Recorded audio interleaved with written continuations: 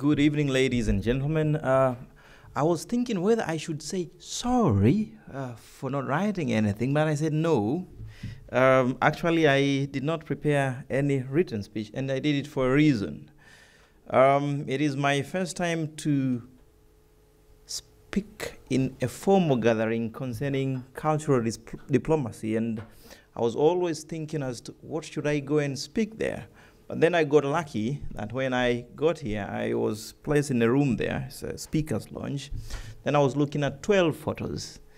Um, I saw one about the events on peace and security, the other one about human congress, and the other one about Israel and Palestinian cooperation. Then I said, aha, then I have something. It's exactly what I was thinking about the importance of cultural diplomacy. We claim, no, we live or we claim to live in a global village. Um, the thing is, this world has a diversity of culture, of cultures. Now, diversity of cultures is a resource, but if mishandled, it could be a disaster. What do I mean by this? When we use the term diversity, we acknowledge that there are differences. But we use the term diversity to recognize that there is too much, there's more in common among us than our differences.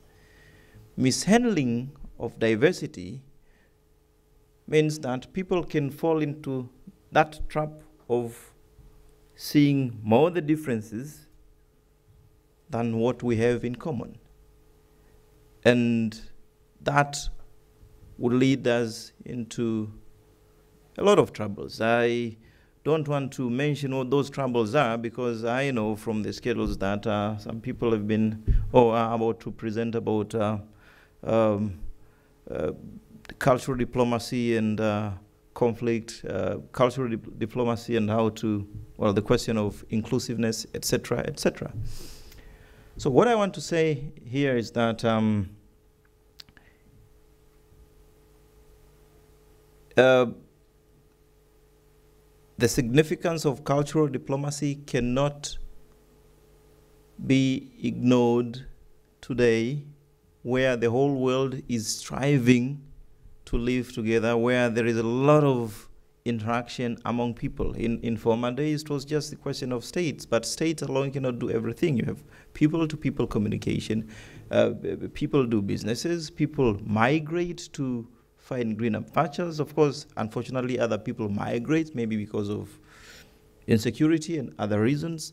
But the common point is that we have to live together. And um, for some of us of a legal background, when I look at the various human rights convention, I think of the international conventions of economic, social, and cultural rights. And um, we lawyers normally say that um, these human rights instruments should be read as a whole body, and therefore we, we, we, we, we, we say that when you, you, you talk about cultural rights, you should also remember about the idea of human dignity and human equality.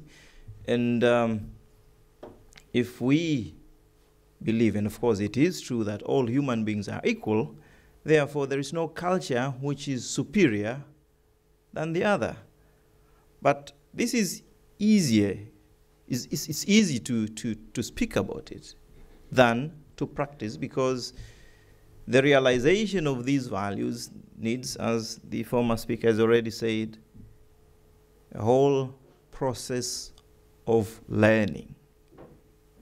A whole process of learning. And this one means that everybody should be involved. People do say that children are born innocent, they cannot discriminate, but they can learn to discriminate. The apartheid system in South Africa taught people to discriminate. We know what happened in the Holocaust, and that's why people are against anti Semitism and also Islamophobia and all other sorts of discrimination. I believe that these kinds of practices do happen only because some people do not have enough understanding of cultures. And um, I should not uh, bore you with uh, many words.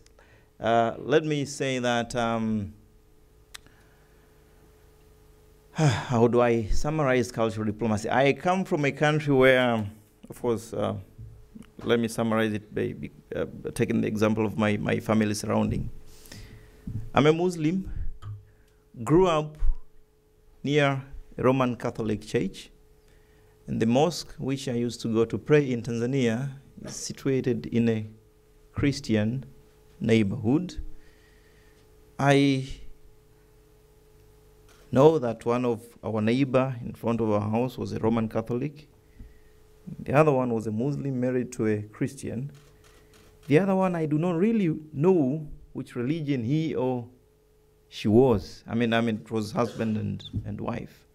But at the end of the day, we will celebrate all religious ceremonies together. We will help each other, and we will just do everything together in times of troubles and in times of happiness. And I imagine that the world can only copy that if there is a proper understanding of culture. And there is where I think the significance of cultural diplomacy lies.